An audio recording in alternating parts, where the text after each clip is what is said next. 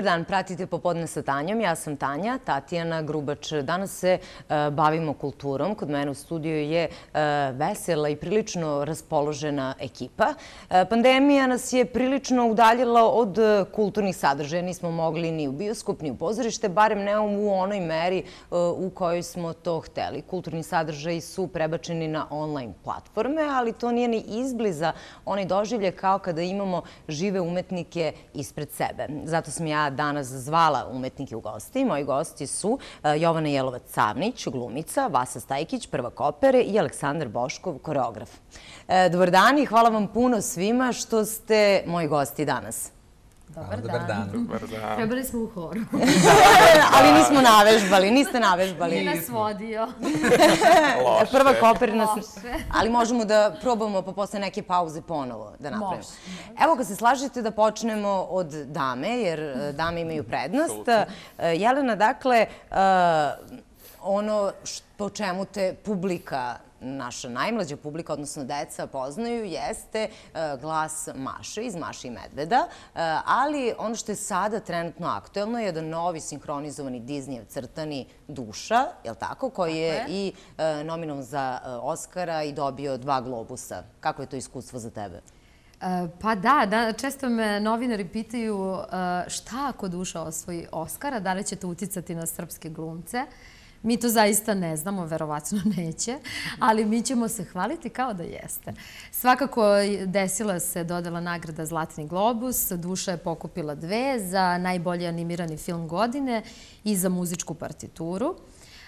Pošto zaista je muzika nešto što preovladava tim animiranim filmom, A eto, vidjet ćemo ista je kandidatura i za Oscara, pa nam se očekuje krajem aprila svakako ta činjenica da li smo Oskarovci ili ne. Ćeš onda reći ti da si ti dobila Oscara? Tako je, naravno da hoću. Pa dobro, što da ne.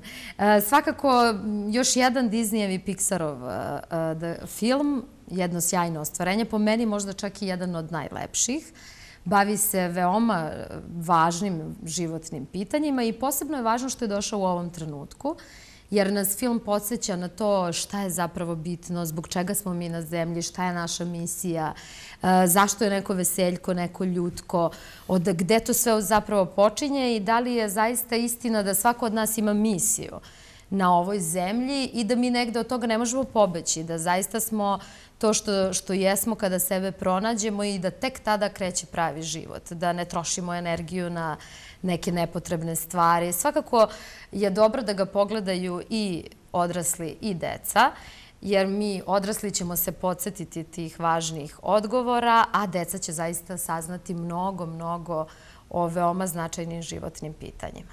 E, ono što je dobro je da je e, crtani sada i aktuelan, da su u bioskopima i mi ćemo ovom prilikom podeliti dva puta po dve karte za projekciju sutra u 15 sati i 20 minuta u bioskopu Arena Cineplex, e, dakle u zgradi Bazara. Iako se slažete da pogledamo i trailer. Po čemu bi ti voleo da te pamte na zemlji?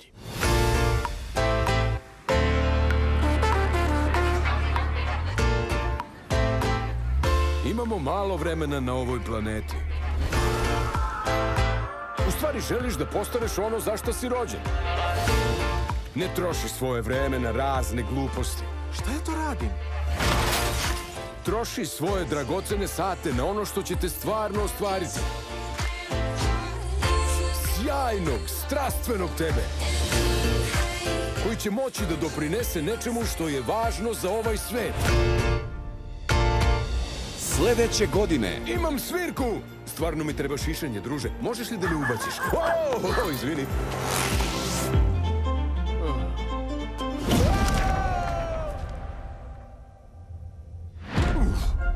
Od autora filmova u mojoj glavi. Šta bi? Do neba. Zdravo! I Koko. Ajde reci, po čemu želiš da te pamte? Možda po ovom smešnom kaubojskom plesu?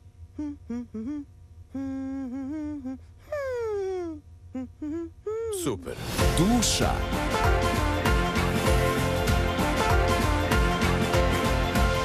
Uskoro u bioskopima. Evo dakle, dva puta po dve karte za e, crtani film Duša, sutra u 15 sati 20 minuta, Arena Cineplex. E, a sa nama je Vasa Stajkić, eh, prvak opere. E, Vaso, ti ove godine slaviš i 20 godina rada u Srpskom narodnom pozorištu. To je veliki jubilej i ti možda sad izgledaš ovaj, mlađi nego što jesi. Kako se ti osjećaš povodom toga? Pa super je kad ovaj, imaš 42 pa 20 godina si već nešto radio i to vrlo posvećeno tome. Mogu kažem da sam stvarno za ovih 20 godina dosta toga uradio i imao sam neku i sreću da sam vrlo rano dobio taj posao. Ehm, došle tamo do neke smene generacija, ja sam tu bio spreman za neke male uloge i tako je sve počelo. Od čega si počeo? Koja ti je bila prva uloga? Ja, prva uloga je bio Baron Dufol u Travijati, to je bilo neko uskakanje. Sećam se samo da je, e, tipa možda jedno par dana pred predstavu, moja tadašnja profesorka pevanja Milica Stojdinović samo ušla u učionicu za vreme časa i e, rekla mi je za četiri dana debituješ u Srpskom narodnom pozorištu. Kako si se ti osjećao tada? Pa, ociko sam se. Klasika. Kao šta, kako, ajde, nešto, baš na brzinu je to onako spremljeno, režijske probe nisam ni imao. E, baš je bilo onako uzbudljivo. Pola teksta nisam znao. E, bilo mi je dozvoljeno, moram da kažem, bilo mi je dozvoljeno da ne znam ansamble, jer nije bilo uopšte nikakvog rešenja za, za... Znači, bilo ili da se otkaže predstave ili da neko nauči. Ove, moja profesorka rekla, on to može sigurno. Pa si naučio, nisi? Da, naučio sam ovaj, sve solističke delove, ansambl, de, ansambl delove, kada svi zajedno pevamo, sam pevao, ovaj, otvarao sam usta. to rade i operski pevači. Ali mislim, kažem, bilo mi je dozvoljeno. Dirigent je rekao, uh, ok, nema šanse da naučiš to za tri dana, te ansamble, uh, samo otvaraj usta i tako. I onda je bila jedna jako dobro, jedan jako dobar fazon na toj probi. Stariji kolega Branislav Jatić, Eh, bas koji je pevao toj predstavi kaže, ej, nemoj da se nerviraš, pa ni ja i dan danas ne znam kao ceo, teo tekst. Ja kaže, pevam Mišu s pušku, Mišni s pušku. Tako da je ovaj, super je bio fazon i onda ovaj, svaku predstavu koju sam ovaj, tad peo sam se okrenuo prema njemu da vidim da li peva Mišu s puškom, Mišu s puškom, naravno zezao se. Dobro, i dakle, to ti je sve opšti utisak. Jako je lepo kad, si, kad je čovjek tako mlada i ima već e, pompeznu e, karijeru iza sebe, a tek si u nekim godinama fizički i mentalne potencije i tek treba da tako. možda tek zablistaš. Tek počinje zapravo. Šta očekuješ? Pa, da. pa sad dolazi do te neke promene u fahu. E, to je ono što se kod nas dešava sa, sa godinama. Kada počnemo, naravno, pevamo taj neki lirski fah, e, manje ulogi lirski fah, a kasnije, e, kako mi sazrevamo i kako starimo, ja više ne možemo pevamo mladiće, Onda, onda ide epski fah. Da, onda ide malo dramski, mladodramski u, u kasnijim godinama. Možda se oprobam i u dramskom fahu. Mislim, to, je, to su sad, to je velika razlika između tih između ta dva faha, lirskog i dramskog, neki pevači ostanu uh, čitavo, čitavo svoje karijere, karijere u lirskom fahu. Ja se nešto naginjem malo ka tom mlado-dramskom, da tako kažem. Tako da, ovaj, praktično sada sa 42 godine, bez obzira na staž, uh, ja sam u, u nekoj, da kažem, punoj snazi i očekujem, ako me zdravlje posluži, ako sve bude kako treba, još jedno kvalitetnih 15 godina. I to je to, je li tako? Pa, e, nije to to. E, postoje jako puno primjera pevača koji imaju i 70 godina. Su, pa, mislim, Pavarotti, ozbiljni pevači koji su pevali u svojim 70. godinama, koji su imali jako dobre predstave u tim godinama. A, naravno, to nije to je neka stara slava i tako dalje, ali daleko je to ovaj, od toga da, to, da je to nekvalitetno ili da je loše izvedeno. Tako da Sve svemu još dugo donosi iskustvo. To donosi iskustvo i tako da ja se nadam, eto, 15 godina, evo neka bude 15 godina, a onda posle toga Penzija. Penzija. Kostarika, vidjet ćemo, recimo. vidjet ćemo, da. E, Evo sa nama je i koreograf Aleksandar Boškov. E, Aleksandre, e, ti si isto počeo da plešeš kao jako mlad, je li tako? Da ne kažem sa, sa 12 godina, je li tako? A sa 15 si već počeo da se nešto ozbiljnije baviš time, je li da? Tako je, da, da. Ja sam prvo počeo, uh, verovao ne kod Đoleta Đuganija. da, ali to je tako krenulo. Tada je to bilo popularno. Moralo je, drugih- moralo je negde. Da, Je li bilo da. drugih instruktora tada 90. godina? Pa nije. Dobro. ali bilo za mene nije. Bilo Možda je. bilo, ali eto. Bio je njegov brat Gagi, je li tako? Da, bio je. da, da, da, da, da, cela familija. Ali ove, nakon toga je, uh, mislim, već kasnije smo, ove, sam malo, uh, što bi se rekao, evolvirao u neki kvalitetniji ples i kvalitetniji pravac. I uh, kad sam došao da studiram zapravo ovde, 2008. godine, sam počeo se bavim savremenim plesom. I uh, od Savremenim tada- plesom to je ovaj, e, neka viša baletska ili gde je savremeni ples? Pa, konkretno ja sam uh, pohađao uh, savremeni ples u ansamblu Dans kod Tatine Grujić tada, uh, koja je vodila i ja sam se odmah zaljubio taj pokret zato što je nešto što po prvi put u životu sam osetio kako telo može da bude uh, višeslojno i da može da predstavlja mnogo više od samog plesa, nego može da predstavlja neku određenu vrstu emocije, pokreta i tako dalje. I da prenese poruku što je bilo bitnije nego da samo vide neke veštine. Mislim, svaki vid plesa je lep. Mislim, svi ljudi koji plešu su lepi ljudi. Ali, da, iskreno željno.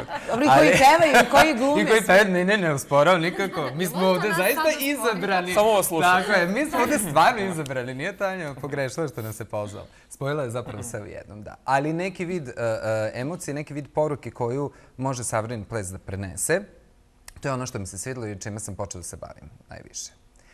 Da. E, Nešto kasnije ćemo razgovarati, ti si u, o, tvoj najnoviji projekat je i ja sam Mileva Marić, Tako Einstein, da, je li da, da, tako? da, To tako ćemo nešto kasnije. Da se vratimo za trenutak na Jelenu. Publika je uživala gledajući te u e, ulozi Simče, u Tatama. E, Serija je završena sad u februaru, ali pretpostavljamo da će se nastaviti. E sad, to je neka e, vrcava konobarica, slatka, simpatična. Kako je tebi legla ta uloga? Pa ja sam, e, ne znamo da li će se nastaviti, evo verujem da se to negde najviše očekuje kao odgovor. E, naravno, sve nas je ovo malo izremetilo i poremetilo sve planove, ali dobro, mi svakako svi priželjkujemo nastavak te serije. Da, ona je završena je druga sezona u februaru, da kažemo, emitovano je 180 epizoda. E sada što se tiče samog lika Simče, ja sam se u nju zaljubila na prvo čitanje, bukvalno, jer to je jedan tako komičan lik koji povezuje mnoge situacije i događaje i mnoge stvari mi preko nje zapravo saznajemo.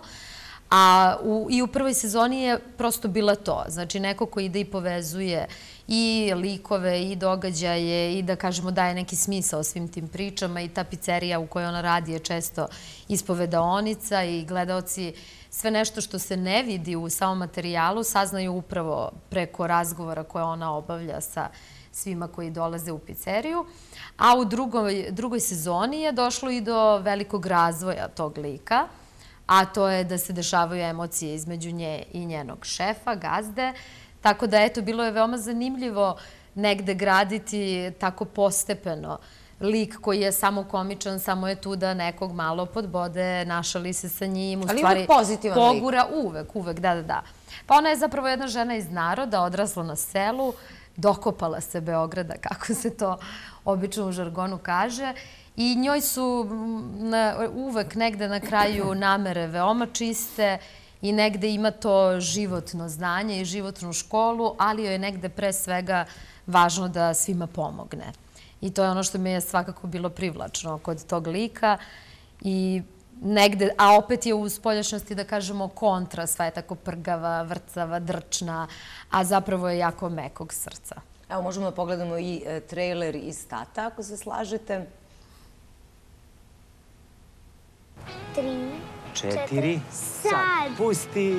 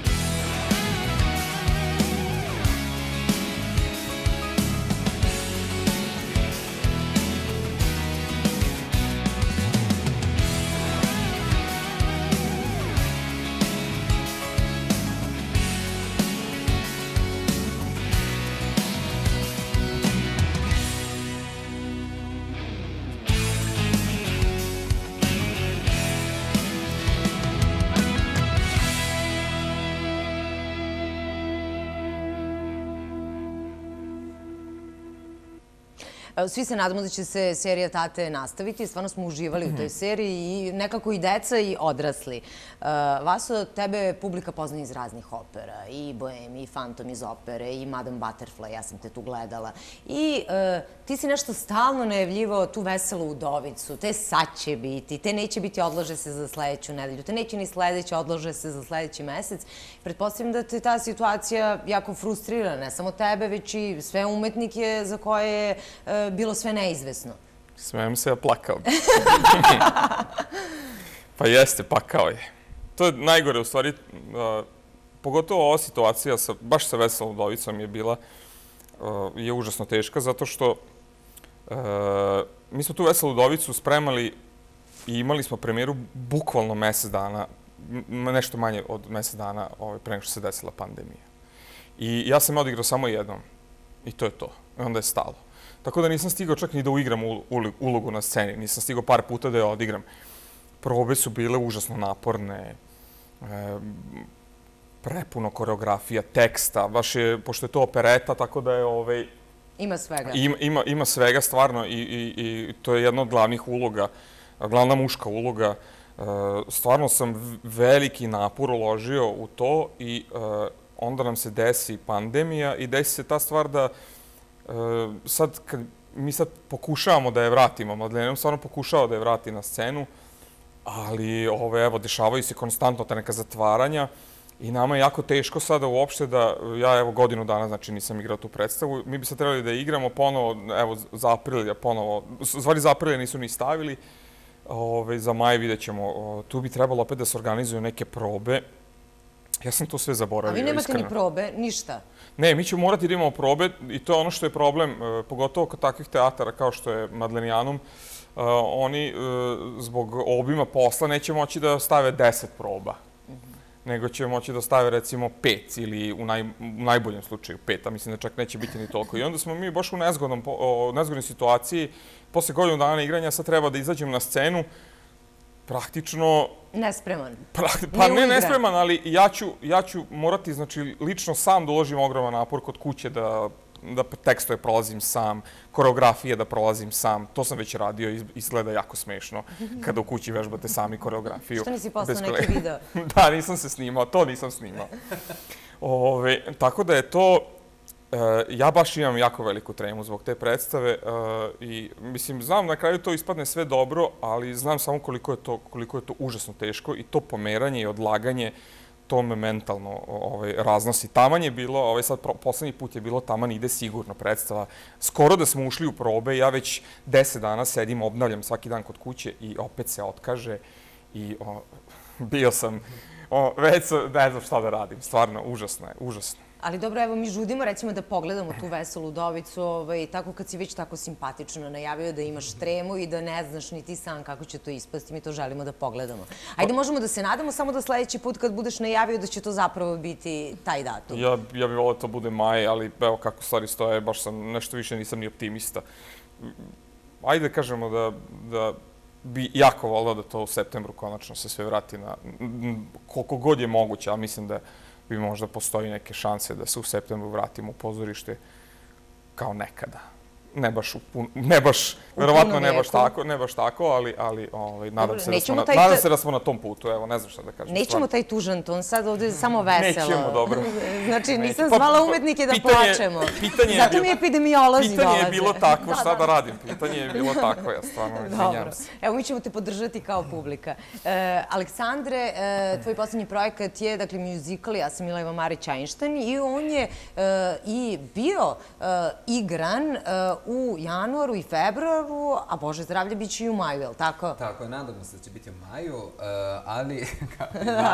Svi možemo se Tako nadamo. jeste. To je vrlo zanimljiva jedna predstava koja uh, zapravo priča priču o ljubavi između Mileve uh, Marić i Alberta Einsteina. Uh, naravno, produkcija je uh, Viva Dance Akademije u saradnji sa uh, mojom matičnom jel organizacijom New Entertainment. Uh, Studio i drugi ove, jako sjajni ljudi su uključeni u svemu tome. I e, plesna predstava koja e, je namenjena, zapravo lično ja volim da kažem baš onako ove, da je to u pitanju jedna lepa profesionalna dečja predstava namenjena odraslima. najviše, pa naravno i deca, mislim, čim vide raskošne scene i naravno to ih privlači. Ali da, kroz ples prikazana poruka. Što je ono što sam i rekao čime želim i čime volim da se bavim. Dobro, i mi možemo da se nadamo da će to biti u maju Tako ponovno. je. Dobro, pozorište radi, tu i tamo se neka predstava odigra. Da, da, da, kako ne, radimo. Tu i tamo Tako je, mi smo jedva našli vreme da dođemo. Jeste, ovaj ali, ljudi su zbunjeni. Srpsko narodno pozorište, Radi. moram da priznam, u celom regionu, e, maltene sva pozorišta su bile zatvorena, Srpsko narodno pozorište je našlo načina, konkretno opera, našla načina da izađe na ulicu i uradi neke live e, e, koncerte, neki snimci. E, Uspeli smo nekako, čak i ono kad je bila najgora pandemija, do duše moram priznati da sam tad i ja ovaj, ovaj, se zarazio koronom nakon tih nekoliko predstava, verovatno u pozorištu. Ali ovaj, uspeli Nisi smo... u kafani sigurno. Pa da sam išao u kafanu, makar pa da znam da je bila u kafani i tako, nego, ovaj, e, hoću da kažem, nekako smo e, i kroz ta zatvaranja ovo Srpsko narodno pozorište uspelo da, da odigra neke predstave i evo sad ćemo u aprilu imati opet, tako da Ajde, vidjet ćemo. Samo da nas ne zatvore opet. E, dakle, izvinjam se što sam vas prekinuo. Bez pesimizma. Bez pesimizma. E, Evo, Jelena, ti si jednako uspešna i zapažena i kao pozorišna glumica. Imala si e, zanimljiv lik u predstavi Seksi Grand na balkanski način. Tu si ovaj, igrala Starletu. Kako si sad, kako izmaša u Starletu? Izmaša u Soraju. Da, da, da, Maša Soraj. Pa dobro, lepo, iz kontre. Pa dobro, to je zapravo jedan vrlo nesrećan lik koji jedno dobra dva sata predstave apsolutno fura sve te da kažemo, životne, da, koncept zapravo života gde je samo važno da idete u kafane, menjate muškarce, alkohol, Bunde. zapravo svaki, tako je, bunde, Automobile. Instagram i društvene mreže, a na kraju zapravo shvatimo da njoj mnogo je potrebna ljubav i da se osjeća nevoljeno i da čak u stvari misli da je neće niko nikada oženiti ili pronaći svoju ljubav ili rađati decu i ona je negde duboko ubeđena i ima to znanje da je zapravo to smisao života, ne ovo što ona radi. Ali dobro, tu se dešava jedna lepa katarza. Inače se radi o urnebesnoj komediji i onda je zapravo sve to što je pomereno, iščašeno, čak je preuveličano i to kada kažemo starleta. Znači, i to smo čak probili, i te granice. Ipar si igra, ta pravila, možemo vidjeti... Pa predstava se igrala e, baš, baš mnogo. E, Igrali smo je tri godine u Hrvatskoj, skoro svake nedelje. Bili smo u, na repertuaru u Zagrebu, na u pozorištu Vidra. A kod nas? E, Pa kod nas ne. Ne, uopšte. Nikako. Pa kako mi da odemo sad u Zagreb da je, gledamo? igrali smo, pa dobro, šta vam teško? 3-4 sata autoputa. Treba, treba PCR za Zagreb. Da, da. Sada se, nažalost, ne igra, zato što su tamo, e, i kao i ovde, naravno, pozorišta vrlo redukovana i zapravo imamo informacije da baš onako je možda i rigoroznije nego kod nas. A negde ova komedija je nešto što iziskuje punu salu, baš, baš punu salu, zato što i nekako smo imali i sreću da je uvek puna sala, jer e, je, ima mnogo interakcije. Verujem da bi nam bilo jako teško takav koncept predstave da igramo za 30 ljudi. Tako da, e, nadamo se da će se nastaviti, e, našalila sam se, naravno, predstava se igra i u Akademiji 28 u Beogradu, to je to što se tiče Srbije. Inače je sve apsolutno Bosna i Hrvatska, ali dobro. Dobro, zemlje iz regiona. E, Zemlje iz regiona. Ako se slažete ovaj, da pogledamo i taj trailer, vas dvojica se nemojte ljutiti, imam i trailer za vas, nego nekako tako ide priča. Rekla je prvo dam. Da, da Jelena Neko je sada... lep, neko dam. da Jelena ovaj, dominira. Dakle, eh, gledamo tle, trailer za Balkanski seksi grad.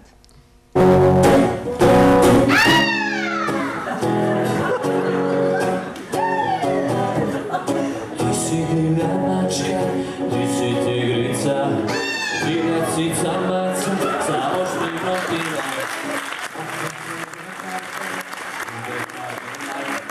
Ti zasnivaš nešto, poketa si hrana. Čekaj, čekaj, čekaj, čekaj, stani. Ti ko gladna mačka, znaš? Znaš, daj, znači, razum... Vidi, što, ne, ne, ne, odlično je to. Priliku, razumiješ? Znači, samo razuzdana mačka.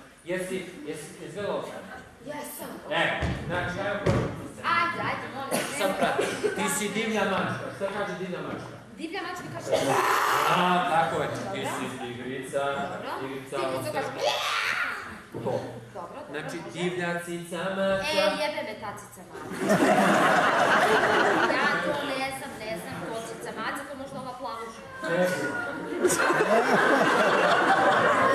Tako je. Vidi kako je maštovita. Sa noktima. Znači, tu daj. Oko tebe parfem. I imam parfem, čekaj, dobila sam sinoć. A daj, šta čekaš dok te? Znači, oko tebe parfem, puder, E, karmila. može ona da mi donese Sve pokazuješ, može. Sve pokazuješ, puder, karmila. I slobodno daj pokret, daj kruni, daj dobro. E, ajde, e. Izazivaš sve. Što? E, e, Koketa si na, e, vidim da e, znaš, e. vidim da znaš. Kada smo E. priči, samo da ti kažem. Sad i onda da ti kažem. Du, du, du, du, du, du, hoću samo tebe. I tu daš sve. Se ti drogiraš, ne? Da ti kažem, samo ti kažem, kada je priča u pitanju, ti meni treba da pričaš, ali nemoj kad su pokreti znam ja. Vidjet ćeš. Dobro, ajde, ajde, Pusti, ajde, ajde. ajde.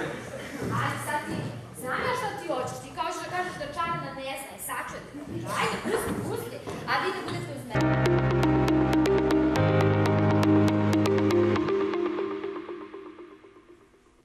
Evo imali smo jednu intervenciju iz publike i mi sada moramo ovde da pozdravimo e, našu dragu prijateljicu, moju prijateljicu, Sonju Lešter, glumicu, vašu koleginicu, ali tako? Tako je, jeste. Sonja, čao. Sonja, ovo je bila moja ideja da, Da. te pozdravim.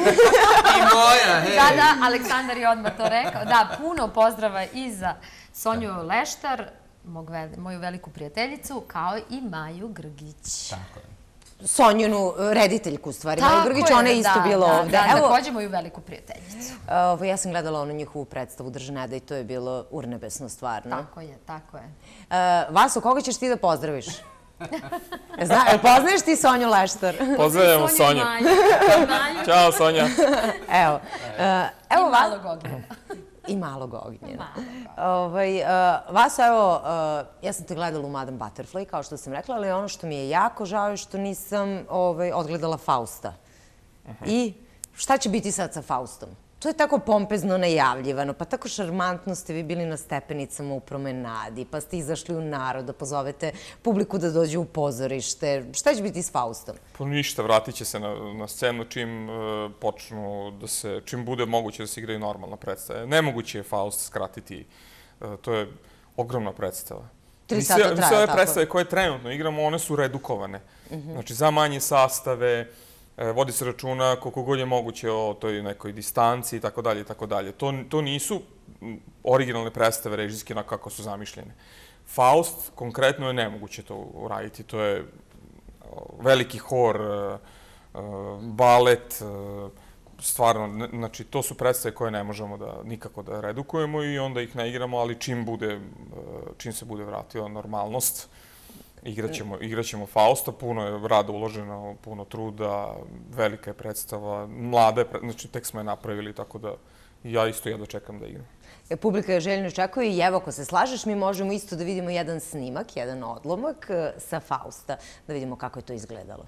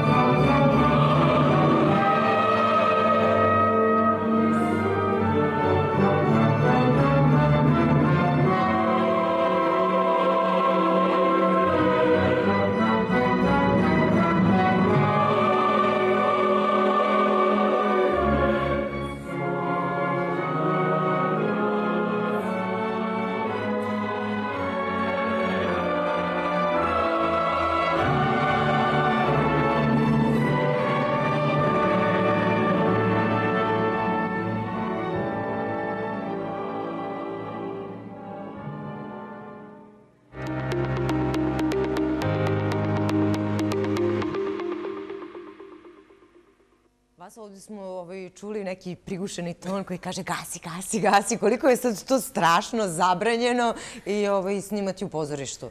Pa jeste, zabranjeno je. Ne znam uopšte odakle ovaj snimak. Neko ga je napravio. Neko hrabar, ja bih da, rekla. Da, neko hrabar je bio. Ovaj, to je...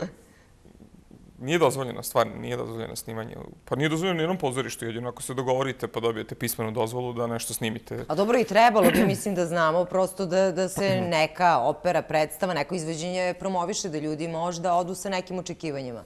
Je li to upravo hoće da se izbegne? E, pa, ne znam šta je tačno razlog. Prepostavljam da su tu, da ima više razloga, vjerojatno su i prava i tako dalje i tako dalje. Zavisi šta se izvodi. Ali, ovaj, Ali uvek može ovako, sa gasi, Ajde gasi, se gasi. ne kradu ideje. A i da se ne kradu ideje, da. Tako da, ovaj, to je, to je generalno u svim pozorištima zabranjeno, pa i u Srpskom narodnom pozorištu. Dobro, ali ovdje, ovdje smo vidjeli nekog hrabrog ovaj, koji je uspeo da snimi makar deo. Izvinjavamo se, zlopotrebili smo taj, taj snimak, ja stvarno nisam znao da je, da ovaj, Tanja, hvala. Tanja je. Tanja je ovaj, Ukrala, ukrala, ukrala tako snimak, tako da. Ja sam kriva. Ja sam samo gost. Ti uopšte ne poznaješ. Ja taj koji je snimao da nas tuži. Vi Da. moj snimak je... Pa onda da, da ide E, lanša. dobro, ja sad dajem otkaz. Pa i dosta ti je, mislim, 20 godina, šta, bolje otići kao pobednik. Jeste. Eh, Aleksandre, eh, dakle, eh, ti si predsjednik New Entertainmenta i fokus vam je negde na savremenom cirkusu. Šta to zapravo znači? Šta podrazumeva taj savremeni cirkus? Savremeni cirkus podrazumeva nešto što je nekada bilo taj tradicionalni cirkus ispred šatora i slično, E, što se izvodio. Sada se on izvodi u pozorištu, ali mnogo, mnogo sada je fokusiran na e, opet e, pokret i estetiku, nego što je na korištenje životinja, u zlopotrebljavanje zapravo životinja i slično. E, Korištenje rekvizita, e, da li recimo sa vatrom ili e, sigurno su svi videli na štulama recimo ljude u tržnim centrima i slično što promovišu različite stvari, vazdušne akrobacije i slično tome. Sve to podrazumeva zapravo pripada kategorije savremenog cirkusa i time se New Entertainment bavi najviše. Jel može neko da se prijavi pa da Pa to je vrlo... deo Naravno. trupe? A kako da ne, uvek prihvatamo nove ljude i srećom postoje mnogi kolege koji mnogih organizacija u Novom Sadu koji se baš bave obukom e, e, e, novih performera za savremeni cirkus, ali ono što je vrlo interesantno, baš na nagoveštaj Sonja koju smo pozdravili. Možemo ponovo. Možemo ponovo, možemo uvek. Neka bude da na svakih pet minuta ide pozdrav. Sonja, je. ti i Jovena vodi računa, gledaj. Oću, oću. Je, Jelena ili Jovana? Dogovorite se. Koliko si bezobrazan. Kod Sonje nemamo dilemu, to je Sonja. Nije Sreće, Sanja, dao je Sonja. otkaz, sad ne moraš više Da, dao si otkaz, nemoj više. E, Zapravo ne, e, već e, kao što si više puta spomenula u emisiji, vodi jednu fenomenalnu školu za glumu za odrasle, Leonard, koju zapravo ja posećujem. Pos- Posećujem. Posećujem. si deo te... Deo sam trupe, ne posećujem je, mislim, Posećaš radim. i ponedeljkom, sredom i petkom. Tako je, tako je, tako je. E, I zapravo, sada kako smo imali pauzu preko leta, Ona je dala primjer, predlog zapravo da eto, radimo nešto slično kao što ona radi za odrasle ljude, ali naravno sa pokretom i sa uh, savremenim cirkusom, prvenstveno ples kao, uh, sam kao takav.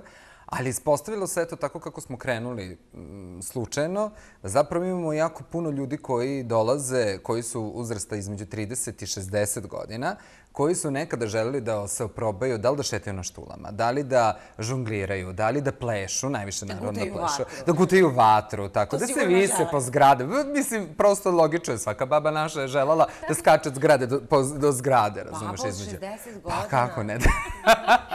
Žena od 60 Nije godina, već baka. Dobro, i vi sad imate taj jedan zanimljiv Tako je. projekat da ste okupili ljude od 25 do Tako je. 60 godina i sa njima radite šta? Sa njima radimo, mislim, to je jedan vid zapravo primjenjenog pozorišta, ali mi koristimo alate, pokret, ples e, e, i tako neku određenu vrstu e, savremenog cirkusa, E, elemente savremenog cirkusa, gde sa njima radimo određene stvari, određene vežbe, usklađeno naravno sa njihovim fizičkim mogućnostima, ali nevjerovatno je kako oni idu korak uvek dalje i sada imaju ideju da naravno nastupaju i slično.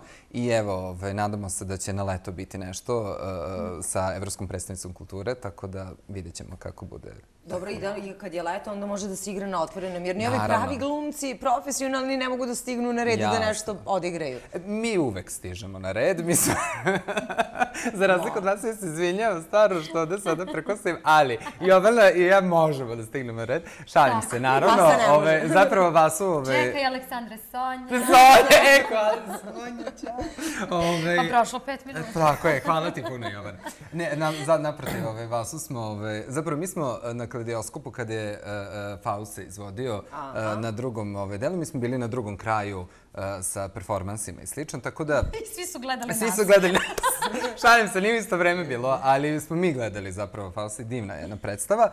Ali ovaj, da, mislim, evo sada se priprema, znate kako mi uvijek radimo uh, najviše leti. Letnja sezona je nešto što prevashodno mladi ljudi tada rade, što u inostranstvu, što i ode u Srbiji, različiti festivali i slično. Međutim, eto, kažu da ove godine će ipak biti, bez obzira na okolnosti i sve. I mi se, eto, jako nadamo, do kraja maja bi trebali da znamo tačno, e, gde onda zapravo će se izvoditi različite performansi u različitim manifestacijama, eventovima i slično. Vasu, ili imaš nešto da kažeš ili da te preskočimo? Da ovaj, ovaj krug preskačeš. Daj neko tužno pitanje. Šta ti misliš o smislu života? Dobro, preskočit ćemo te. Idemo sa Jovanom, jer zapravo je... Ne, moj zamerić.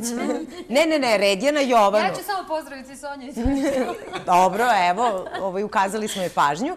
E, sada da se osvrnemo i na tvoju voditeljsku karijeru, jer ti si ti zapravo bila i voditeljka i radila na televiziji nekih osam godina. Tako Ka- kako je došlo do toga? Pa. Moj zapravo prvi susret sa televizijom je bio na televiziji Vojvodina. Tamo sam vodila jutarnji program, kratko sa a, kolegom a, glumcem a, Kojićem. Tako da tu sam se negde susrela šta je i odmah sam bila u programu uživo.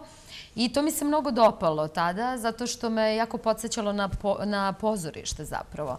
Sada sve odmah, nema nazad, šta si uradio, uradio si, kakav si tog jutra u mom slučaju bio, bio si, ne možeš ništa da popraviš i onda je to negde neka silna mentalna kondicija i fizička i prosto... I pritisak. I pritisak, tako je, ali evo ti si neko ko radi takođe na televiziji, moraš priznati to prosto uđe u krv. Kad jednom zaploviš u te televizijske vode, posle teško je da, da negde zamisliš sebe da to bar nije ponekada, pomalo, po nešto.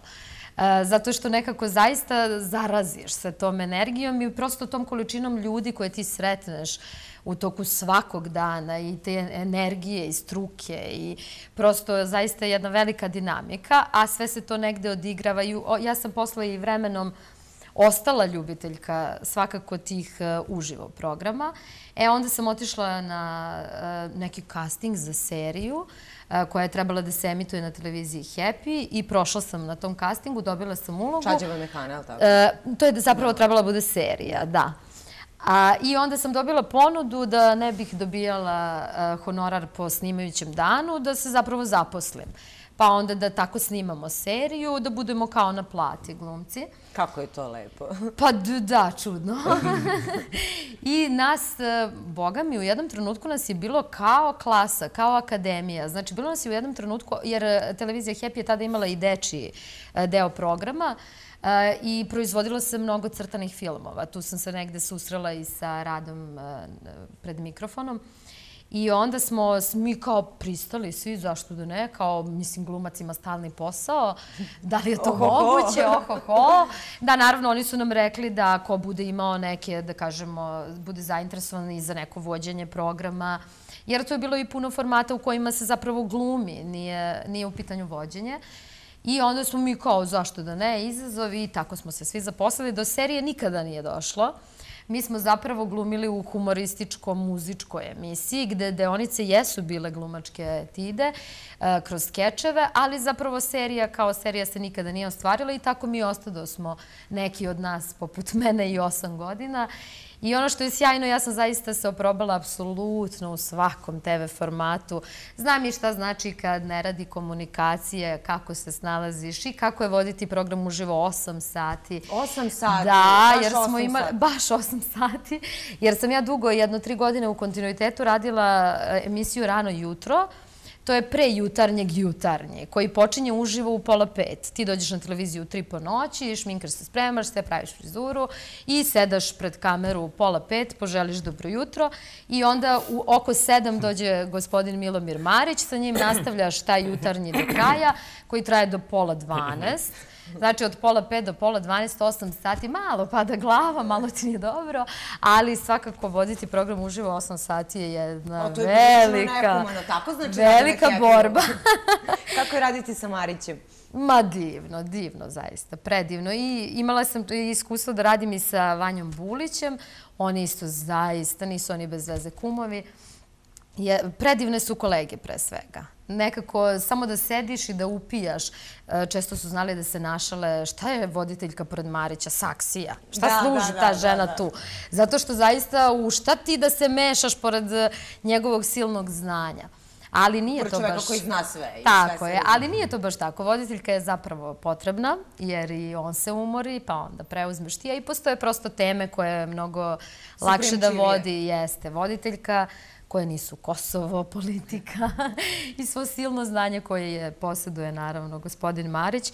Tako da divno i e, Vanja Bulić i Marić su zaista neko ko ti pokaže one sitne televizijske korake Jer prosto oni su, mislim, njihov život je televizija, ceo život su na televiziji. Nama se čini da Marić ni ne ide kući, da on tamo pa živi. Pa da, da. Prošeta malo u jutarnji, pa malo u... Ma da, on snima uživo jutarnji, pa onda snima bolji život, bolji život, bolji život, bolji život.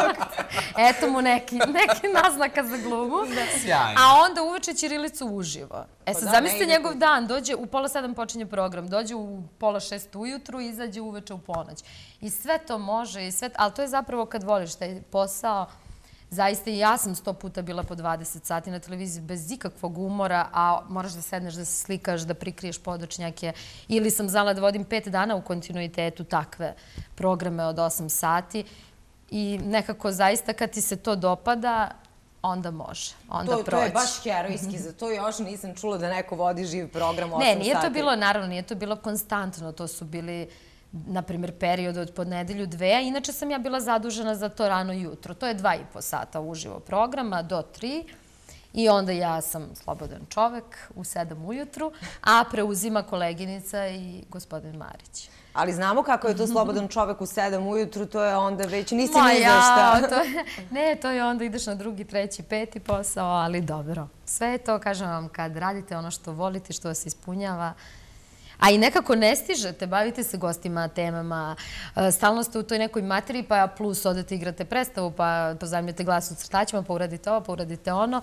I onda nekako samo gledate da sve postignete, ne obraćate u puno pažnju. Na umor. Čovek na umor, pa da. E, mislim da smo zapravo baš, izvini što te prekrenam, mislim da smo svo četvoro ovde privilegovani, baš zato što volimo ovaj posao koji se bavimo i što se bavimo i televizijom jeste medij jedan određeni, ali pozorište, umetnost zapravo jeste jedan određeni medij. Svaki je scenski nastup. Vasu, kada smo ovaj, i pričali, ti si rekao negde ovo što je rekla Jovana i što je rekao Aleksandar, da kada radiš ono što voliš, onda nećeš morati da radiš ni jedan dan svog života. Mislim, ti, nisi to baš ti rekao, ne, ali... ja sam samo, ja sam samo ukrao to. Nisi ali... to izmislio, ali... Da, ali to je tako, zapravo je to tako. To je, ovaj, kada stvarno voliš to što radiš, ja nikada u životu nisam svom rekao ja idem na posao.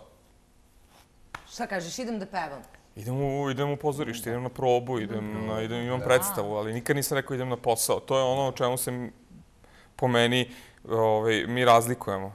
Zato što ja znam šta znači kad neko kaže ja idem na posao. Meni to odmah potpuno druga priča u odnosu na ono šta mi radimo. Da, idem mislim, mi radimo neki posao, da se, mislim, mi se, ne znamo se mi tamo. To je jedan ozbiljan posao. Kao što obično ljudi. To je jedan ozbiljan posao.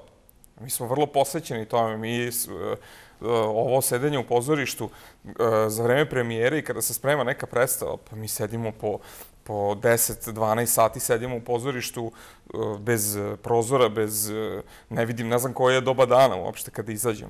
I nije samo da sedimo, nego radimo. Mislim, dobro, ali hoću da kažem, tu smo, unutra smo. E, ne smijete ni da pijete alkohol, vi ste pod posebnim režimom, morate da vodite računa o grlu, pevači. tako? Pogotovo pa pevači.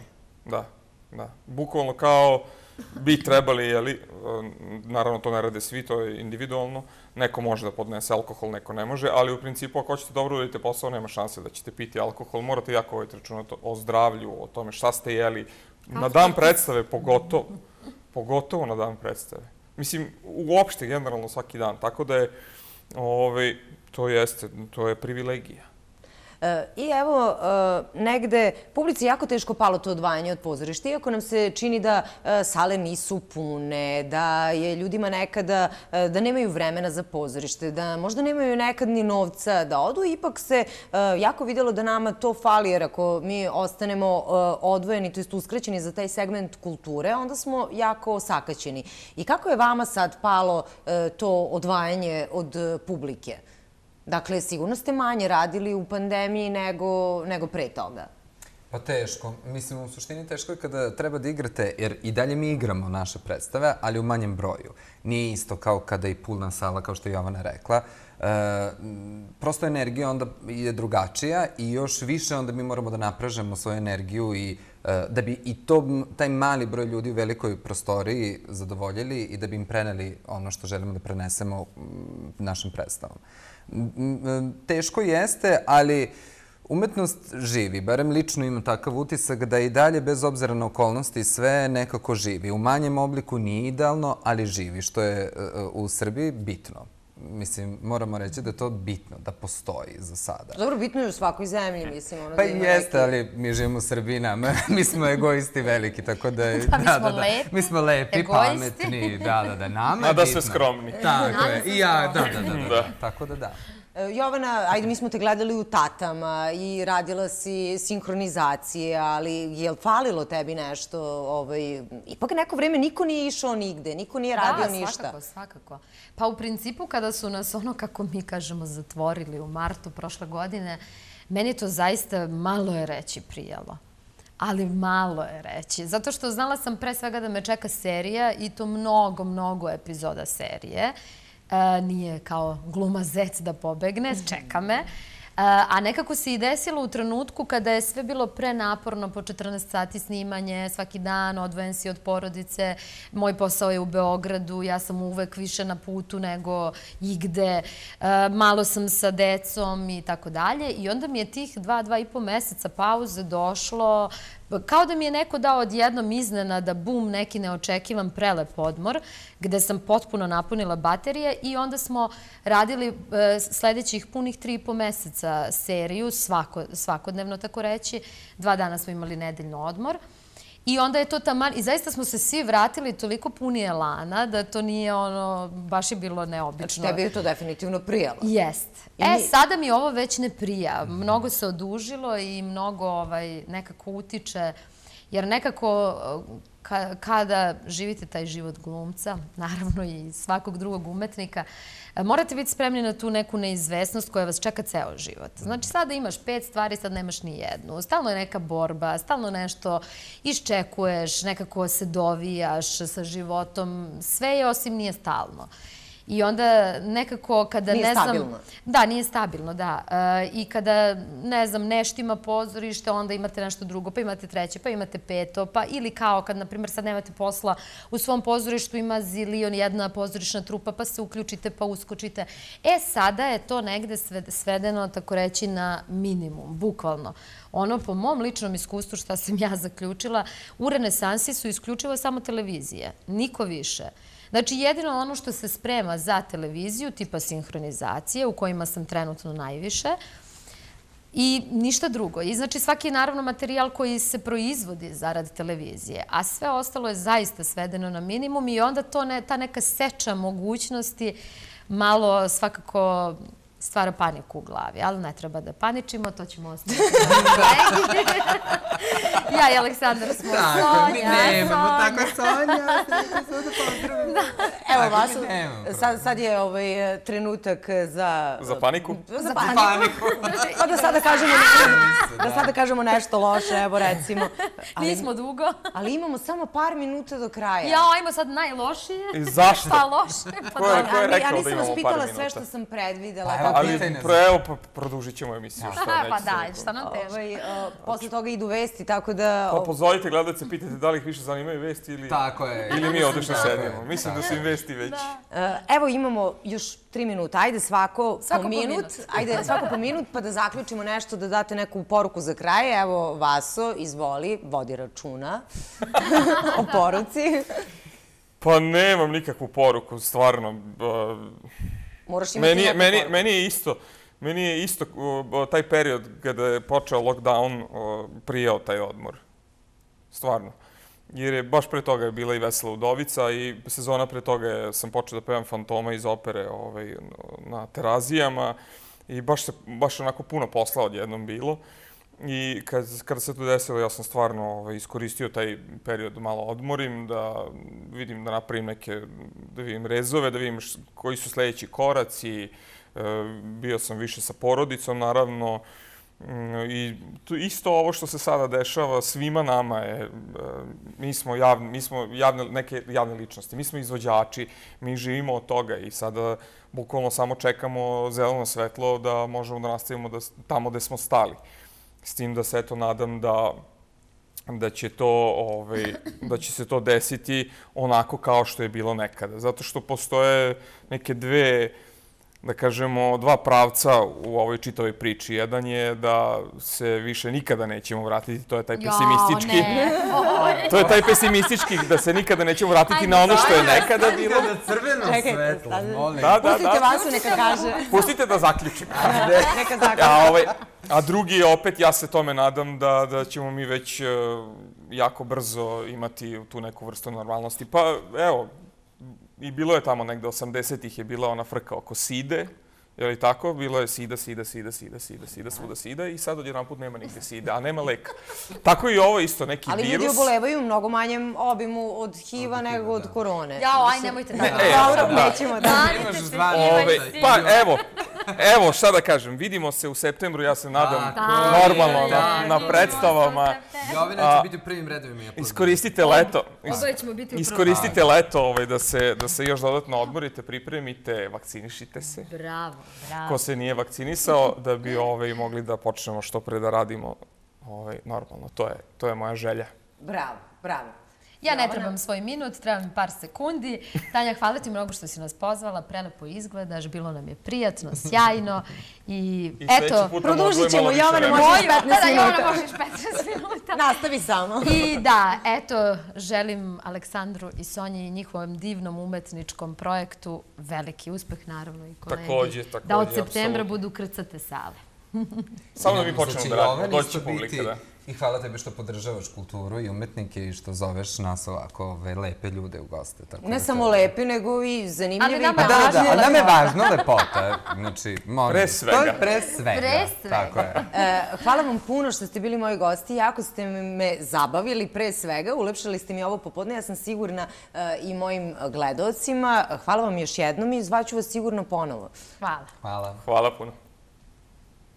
E, došli smo do kraja i ovog popodneva sa Tanjom. Reprizu ove zanimljive emisije možete pogledati u ponoć e, ili e, naći snimak na YouTube-u. Budite i sutra sa nama. Želim vam prijatan ostatak dana i svako dobro.